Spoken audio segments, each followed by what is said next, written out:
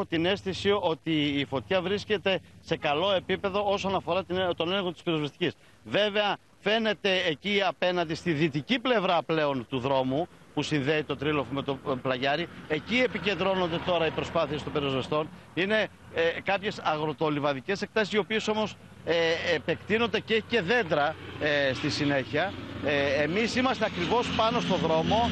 Εδώ ήταν το επίκεντρο της φωτής. Από εδώ πέρασε στην αντίθετη πλευρά του δρόμου και έγλειψε αυλές σπιτιών. Με τη βοήθεια του Μιχάλη του Παπαμιχαλάκη θα σας δείξω μέχρι πού έφτασε η φωτιά σε ένα σπίτι. Εδώ είναι ο ιδιοκτήτης του, ακόμα ρίχνουν οι άνθρωποι νερό. Είναι ακριβώς πάνω στην περίφραξη. Εδώ έκαναν ρήψεις τα ε, ελικόπτερα και τα αεροπλάνα. Η φωτιά εδώ σε αυτό το σημείο έφτασε από τη δυτική πλευρά. Με τη βοήθεια του Μιχάλη λίγο θα σας δείξω. Ε, Μιχάλη λίγο από εδώ να δείξουμε από εδώ που έφτασε από αυτό το σημείο έφτασε η φωτιά ε, προς την πλευρά που είμαστε εμείς τώρα εδώ και μετά επεκτάθηκε κάτω, πέρασε από εδώ, πέρασε κάτω από τον δρόμο. Μάλιστα, οι υπάλληλοι του Δήμου μας έλεγαν ότι ήταν επικίνδυνο μην ε, επεκταθεί στο αντιλιοστάσιο και μετά δεν θα είχαν νερό ούτε οι δυνάμεις ε, πυρόσβεσης. Ε, ήταν, σε κάποια στιγμή ήταν πάρα πολύ δύσκολη κατάσταση εδώ με ε, σε αυτό το σημείο, ε, καθώς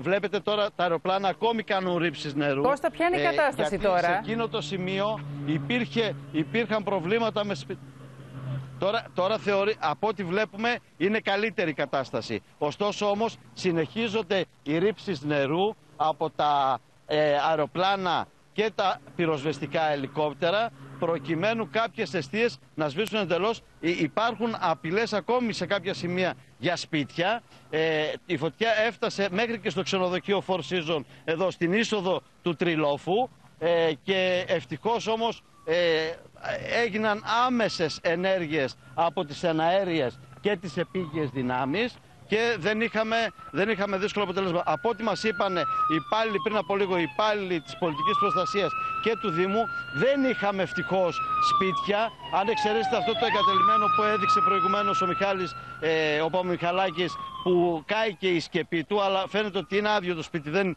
υπήρχε άλλο ζήτημα, αλλά έφτασαν στις αυλές των σπιτιών, ευτυχώς με τις ρήψεις νερού από τα εναέρια μέσα αντιμετωπίστηκε η κατάσταση.